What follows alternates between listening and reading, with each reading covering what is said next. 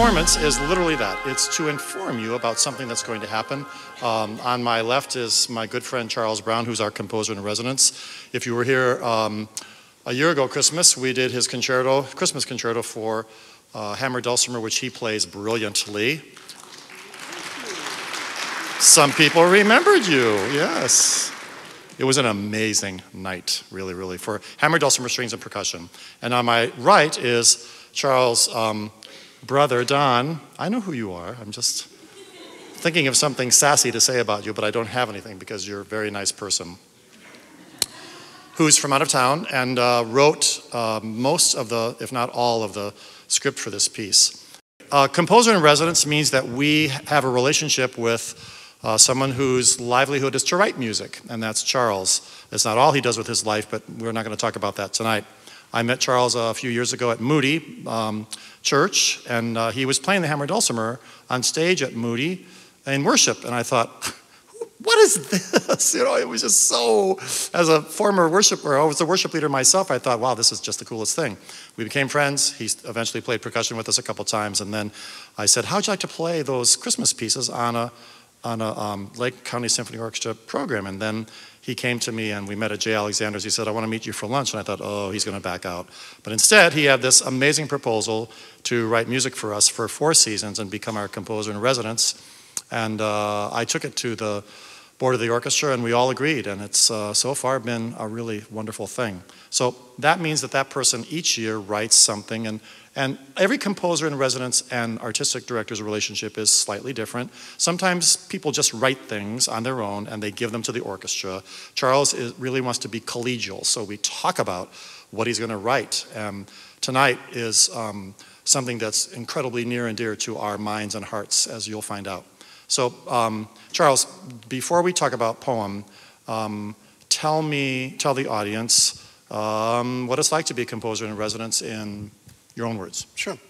Um, it's great to have a full symphony orchestra at your disposal. There's nobody that can argue with that for a moment. So it's an, indeed a huge privilege to have that. As a composer, I have a choice of a lot of different compositional forms. I could write um, an overture, like you heard tonight with Beethoven. I could write a concerto for tuba or violin or flute. I could write an opera. I could write a requiem. But I decided that using the symphonic tone poem might be really interesting this time. Franz Liszt started this uh, form with his very famous Le Prelude. And the reason I like this is because it's not just music for music's sake, it's music with an agenda to address something that's happening currently in society. Now, it can be done with words, it can be done just with the music, we chose, um, Don and I, to use not only a singer, but a narrator. And that was the premise of how we got started. Because I don't really write lyrics, I had three words that I gave to my brother. I said, I have these words that have been sort of haunting me for you know, the better part of 2019 America, a miracle. America, a miracle. This country was founded on a knife's edge, had Washington's army not been just precisely on time, we might be speaking a different language today. We might not be here. And the same thing happened in the Civil War. We've existed on a knife's edge. And I wanted to communicate to our audience with music just how important and how cherished that is. Very good. So, Don, um, tell us a little bit about where you come in, and then I have some things to say about the poem. Well, Charlie came to me with this idea of a, of a tone poem. We want to talk about acrimonious political diatribe in America. So, boy, how do we do that and stay in the middle of things? And as I started putting this together, I thought, you know, I can say what I think, or I can say what I think they might want to hear. But let's do this. Let's go back to our founding fathers and to great American patriots and to great American leaders, both Democrat and Republican, and see what they had to say. So if you look in your program, you'll hear, you're going to hear words tonight from Patrick Henry from Benjamin Franklin. In, in the sixth movement, you're going to hear interwoven into the same sentence and paragraph words spoken essentially from the bully pulpit from Abraham Lincoln and John F. Kennedy, both men of opposite parties that were elected 100 years apart from one another and that were both assassinated for their effort. So, what we're trying to say here is is it possible for people of different political backgrounds and different, vastly different points of view to come together and have a cordiality of conversation in discussing our viewpoints.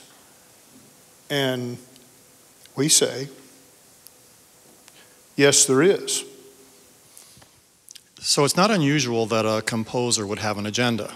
Um, some, uh, not all the wonderful music that you hear from Beethoven and Brahms and Tchaikovsky and Stravinsky and Bach and uh, very, very famous composers that would just roll off your lips even though you don't know much about music.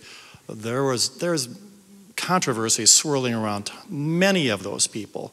There's a very famous Russian composer that eventually moved to America named Igor Stravinsky who wrote a ballet called The Rite of Spring, at which first performance saw fruit and vegetables being thrown from the audience to the stage because they had never heard anything so um, harmonically and rhythmically discordant. That work is iconic now in classical music, and it is a magnificent work. Um, Charles and I were talking about um, Brahms, which symphony?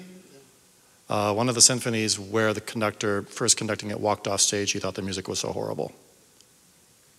So Charles doesn't have that kind of agenda. Shostakovich, another Russian composer, was thrown out of his country because even though he really didn't say anything in the score about an agenda that he had, the Russian government, the communist government, knew that Shostakovich was making a very vivid statement about what was happening culturally, spiritually, and politically in Russia through his music. So I, as a conductor, love this collegial thing that we have going on. Next year, it's going to be a requiem uh, around this time with chorus and orchestra and possibly soloists and then uh, probably a concerto the fourth year. But I like it because, and I especially like being part of the process because I share, Charles and I share our desire for us to be able to be humane toward each other, even though we don't agree. I grew up in a house with a Republican father and a Democratic mother, and I never heard my parents hurl insults or acrimony at each other the whole time I lived there, not once. Well, the phrase goes, We've come a long way, baby. We've taken the gloves off and we, we need to learn how to respect each other. So the poem is this vivid, raucous, poignant, breathing, living organism that talks about where we are and the possibility of how we could live a different life.